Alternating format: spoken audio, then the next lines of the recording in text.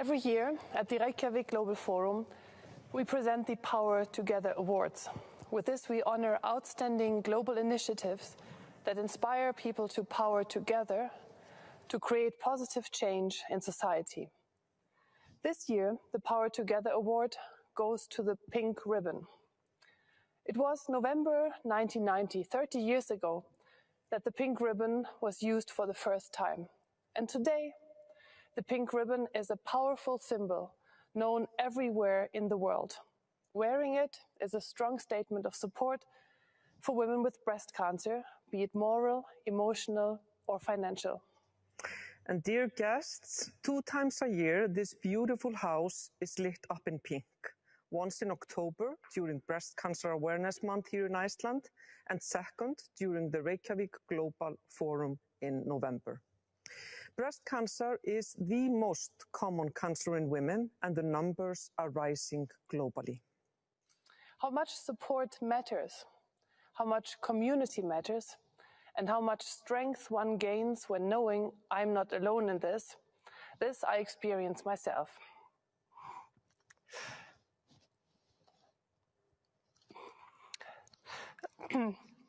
Sorry. Last year, if it would be for COVID, Hannah could give me a hug. Yeah, I hmm. would. But okay.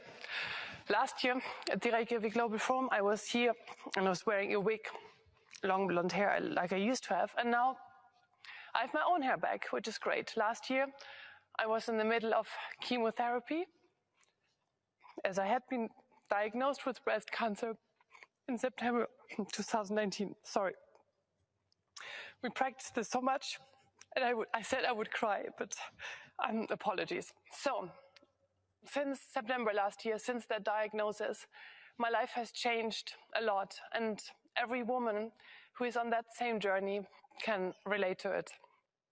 And actually, I think there's probably no woman in the world who does not know at least one other woman who has breast cancer. If it's in her family, among her friends or colleagues, it's really a huge, huge number of women who are having this to deal with this disease.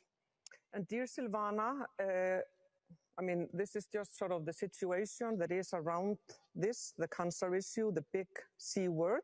And for all of us that care, it's super difficult for me to have to stand here next to my friend and not be able to hug her. But we had talked about that before, that that cannot be done. I hug her every time to uh, we are other means. So uh, this year, this is a, a, really, really important moment in time. And thank you, thank you, Silvana, for sharing. I know that this isn't easy, but it's still so important. And this is what women leaders do. And this is what women around the world do. They share their experience. And this is why the Power Together Awards recipients represent the pink ribbon in 2020 and those that are receiving the awards on behalf of so many women that have been faced with the issue are Nancy G. Brinker and Vigdís Finnbogadóttir. They have demonstrated the power of collective action by channeling breast cancer awareness into a simple and globally used symbol. This establishes a sense of community. It helps to provide access to health services and advance research for a cure. And it's true. I mean, enormous progress has been made because of the tireless work of Nancy Brinker, who raised millions of dollars, and now the survival rates for women with breast cancer are so much better. Thank you, Nancy, and let's have a video about her.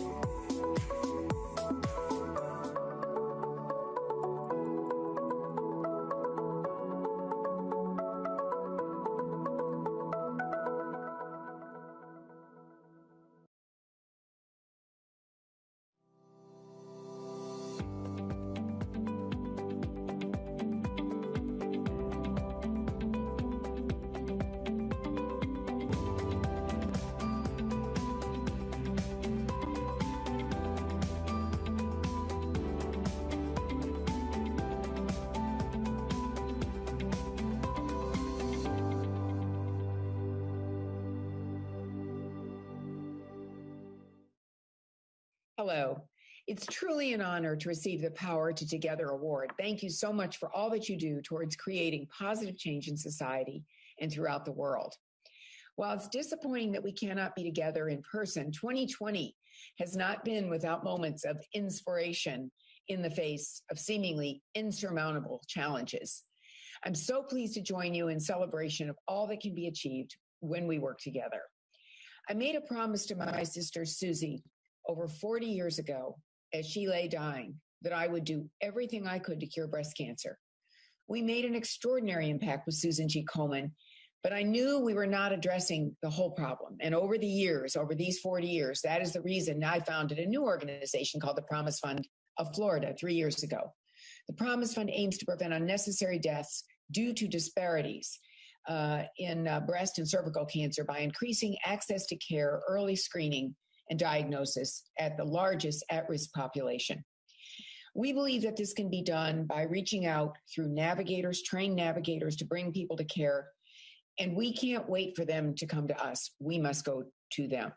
I believe the Promise Fund of Florida will become a model that can be replicated in any community, a gold standard model um, throughout the country, throughout the world, community by community. In the words of my great hero, Mary Curie, one never notices what has been done. One only sees what remains to be done. And what remains to be done is much work to apply what we know after all of these years of research in cancer, to apply what we know to those less fortunate and under resourced people. It's the only way I've been able to fulfill the promise I made to my sister fully and completely. Thank you very much for this very exciting award and appreciation for the work done over these last four decades. We thank Nancy and we send her, like we need to do to Silvana, a virtual hug in this strange time. But also we are honored uh, to make sure that Vigdis, the former president of Iceland and the protector of this Reykjavik Global Forum, as he has been for the past four years. And Vigdis was one of these courageous women that used their fortune and their power to talk about their own story and take away the stigma. Vigdis had had a mastectomy before she ran for president of Iceland in 1980. And in a TV interview while running for president, a journalist asked her whether it would be unhindered in her role as a president to have only one breast. To which Vigdis replied brilliantly, Well, I never intended on breastfeeding the nation. Vigdis would have loved to be here with us. Um, she is here in Reykjavik, but of course she is 90 plus years old and her daughter said she does not want her to come to Harpa because of COVID. And so we just want to send her our congratulations and our admiration through um, through these cameras and let her know that we are so so honored that and proud that she did what she did and helping so many women with her actions. Yet another virtual hug to a great woman leader, and let's close this award ceremony with a song of hope and community. I think we first see a, first see a video on on no? Of course, of course. We first have our video on Vigdis, and then we will have close with a song of hope and community. But of course, that's precisely what our former president represents.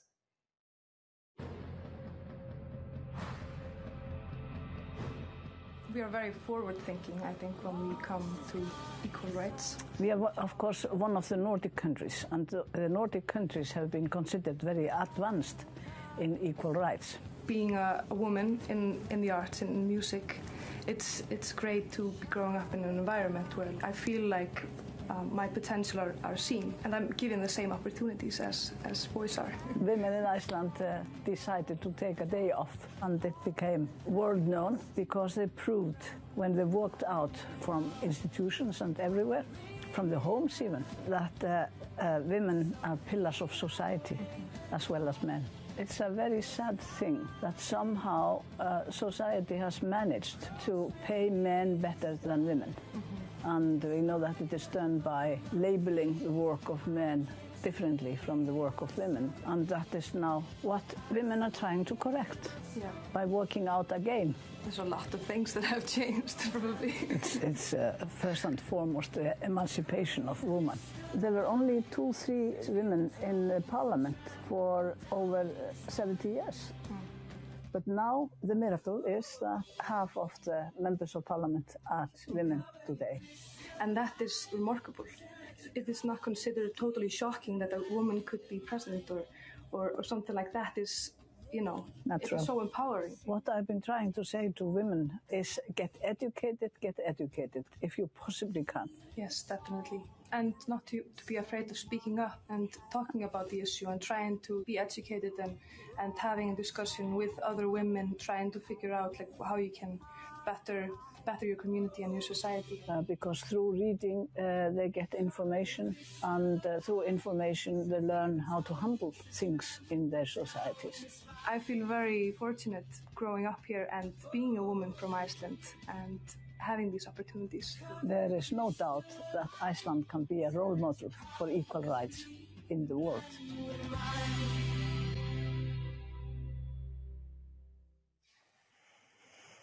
And we want to thank Vigdís, especially for her leadership and for having this conversation with the lead singer of, of Monsters and Men, where they are talking about, of course, gender equality. I would again like to extend the great wishes that we received from Vigdís, uh, that is always with us in mind, uh, and we send her our best wishes.